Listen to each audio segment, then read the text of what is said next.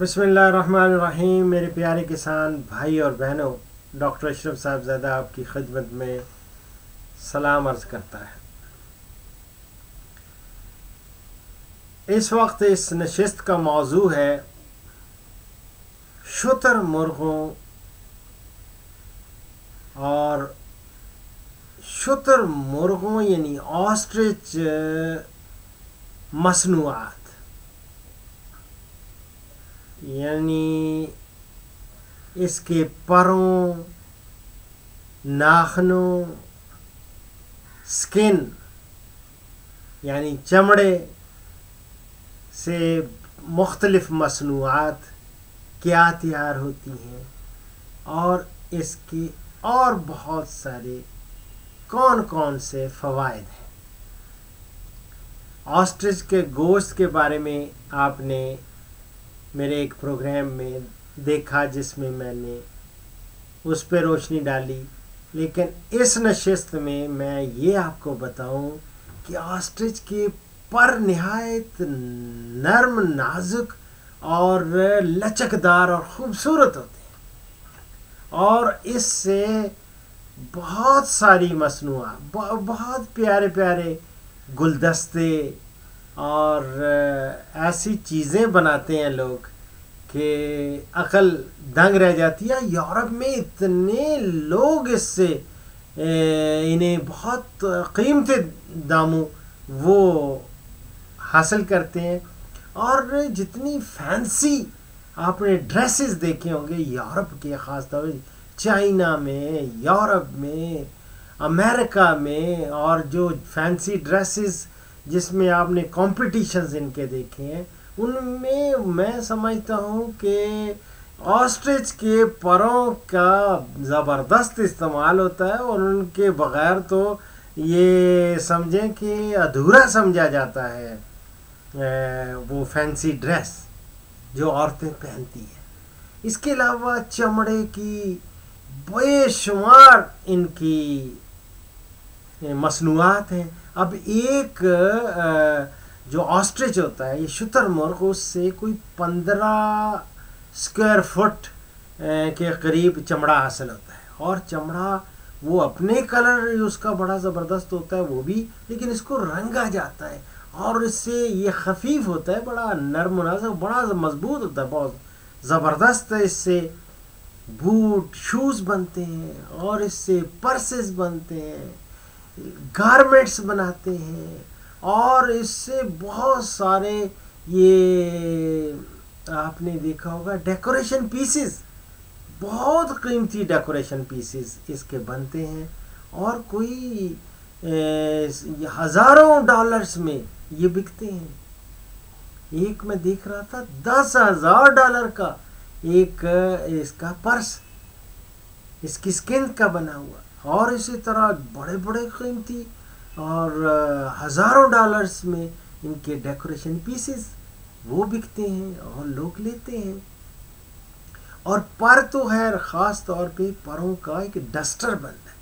वो electronic equipments जितने भी हैं और बड़े नाजुक किस्म के जो पुरजा जात हैं, उनकी सफ़ाई के लिए डस्टर इस्तेमाल होता है, ये ऑस्ट्रिच का डस्टर और मैंने तो यहाँ तक कि मस्जिद नबी में देखा। मस्जिद नबी में इसकी डस्टर से सफ़ाई करते हैं। तो आप खुद समझ लें कितना मुतबरक और कितना ये पाक चीज़ बन गई और कितनी साफ़ सुथरी। और ये इससे बेशुमार इससे ऑयल भी एक्सट्रैक्ट करते हैं और स्किन से और दूसरा वो ऑयल का ज़बरदस्त इस्तेमाल है हमारे हुक्म हकीम हजरात। वो मुख्तलफ़ अद्वियात में इसका तेल वो इस्तेमाल करते हैं। खसूस मर्दों के लिए बहुत सारी अद्वियात जो बनाते हैं, उसमें ये इसका इस्तेमाल होता है। तो बेशुमार इसके और इसके नाखनों से भी ये मेडिसिन में हकीम वो इस्तेमाल करते हैं। नाखनों को भी खसूस मर्दों के लिए ये जो दवा अद्वियात बनाते हैं, उनमें इसका इस्तेमाल वो होता है। और मैं समझता हूँ कि ये ऑस्ट्रिच ना सिर्फ़ गोश्त, बल्कि इसके परों और स्किन से बहुत सारी मसनूआत वुल बनती हैं, डेकोरेशन पीसेस बनते हैं और जो बहुत कीमती दामों, वो फ़रोख्त होते हैं मार्केट में। तो ये था ऑस्ट्रिच की मसनूआत के बारे में मैं जो गुजारिशात मेरे पास थी, वो मैंने कर दी। अब रहा आखिरी सेगमेंट इस अल्लाह अकबर हम बात कर रहे थे बुनियादी अकीदे से और उसमें मैंने गुज्त प्रोग्राम में तोहद के बारे में आपको कोट किया और उसी सिलसिले में कुरान मजीद में एक और इरशाद है कि अल्लाह अकबर।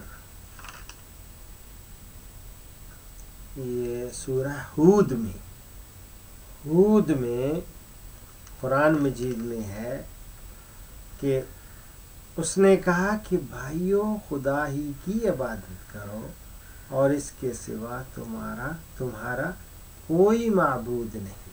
यानी अल्लाह रब्बुल इज़्ज़त ही मबूद है, वही इबादत के लायक है, उसी को सजदा, उसी के सामने झुकना और अकीदा तोहद की अहमियत जब हज़रत आदम से लेकर हजूर वसल्लम तक जितने पैगंबर आए, इन सबने इसकी तलकीन की और अपने अपने ज़माना में बुत परस्ती और शिरक की जितनी भी सूरतें हो सकती थीं, उनसे इंसानों को रोका और कोशिश की कि वो अपना रिश्ता सिर्फ़ अल्लाह ताला से जोड़ें, उसी से लौ लगाएँ और उसी को अपनी तमाम मुश्किलात तमाम मुश्किलात में अपना सहारा, हाजत रवा और मुश्किल कुशा समझें।